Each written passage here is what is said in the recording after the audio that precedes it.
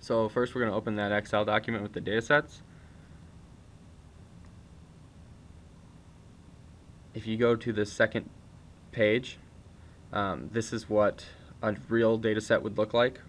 For the experiment, we're going to be using a condensed version um, to speed up time. Obviously, you can see there's a lot of data present. Go back to the first page. Um, so for each column, we are going to be, um, which each column corresponds to one data microarray experiment. We're going to calculate the mean value using the average Excel function and verify that that value obtained is equal to zero.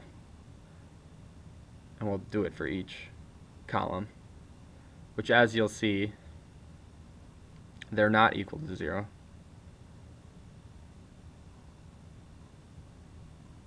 Right now there's a log base 2 ratio, and we're going to get rid of that pretty soon. So the table on, on the right there that's not filled out will be entering our data in there. So we're going to subtract the average value for each column from the corresponding individual values. Um, for example, this will be um, one value minus the average value for the column.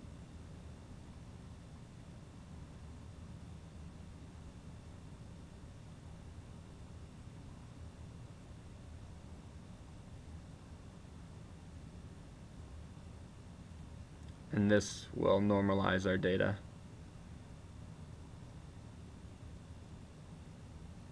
And we can just we can put money signs in there and get it to hold that average cell, drag it down, and we have our normalized data, and then we will um, do that for each column, each value as well.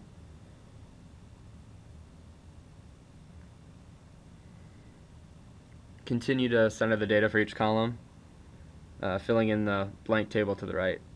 Again, using the average function at the end of the columns when you've completed this data.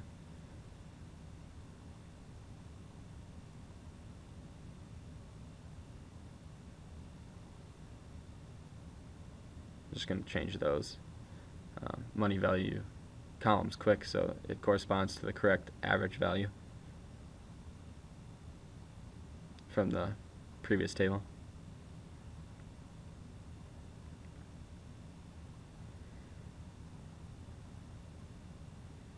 Now we should just be able to grab the small box in the lower right hand corner of each uh, cell and copy that that uh, formula. So be careful if there are missing values or empty cells and replace the empty empty contents with the null, capital N, capital U, capital L, capital L, or um, capital NA command in order to avoid inducing a zero value in Excel calculations in the cell. Um, uh, missing value is definitely different than a null one. We shouldn't have any problems in this experiment though. Also know the difference between a dot or a comma in Excel because there's a difference.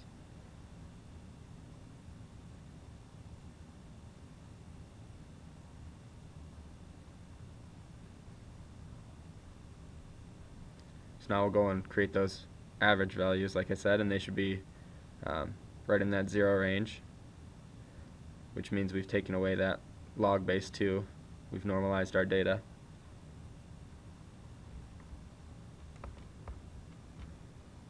So once you've normalized the data file, uh, you can filter out weak intensity spots, which eliminate the weakest intensities for both channels. Uh, keep spot with ratio greater than 1 or lower than negative 1. And remember that we're working with log base 2 ratio. So log base 2 to the 2 is equals to 1, and this method is called fold change. Um, it's the one used at the beginning of microarray analysis and is still useful um, if you don't have enough replicate, replicates to apply statistical treatments.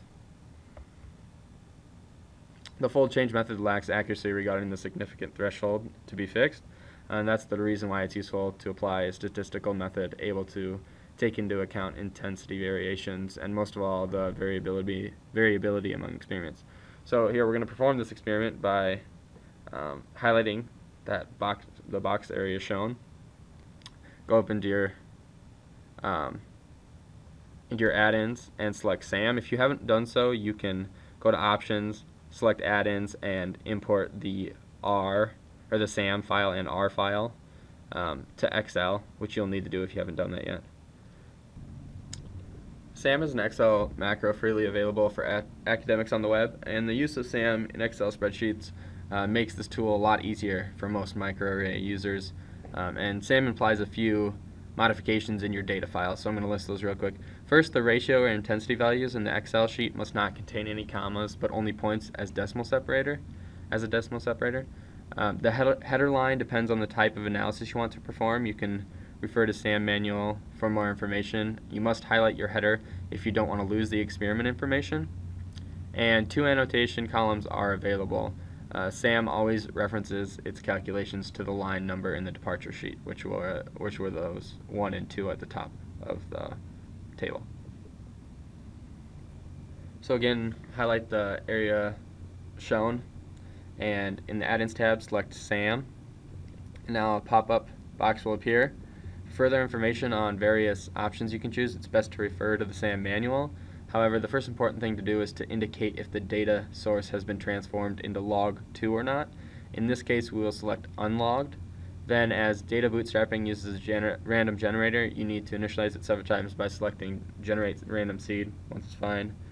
Um, click OK. Once all of the chosen iterations have been done, SAM displays a plot representing each gene in reference to its score in the real distribution compared to the random distributions. Therefore, the differentially expressed genes are the ones moving away from the 45 degree slope line, farther away. Um, the table that appears indicates for each delta value the number of putative differentially expressed genes, the significant genes, and the number of false positive genes estimated um, using the false discovery rate.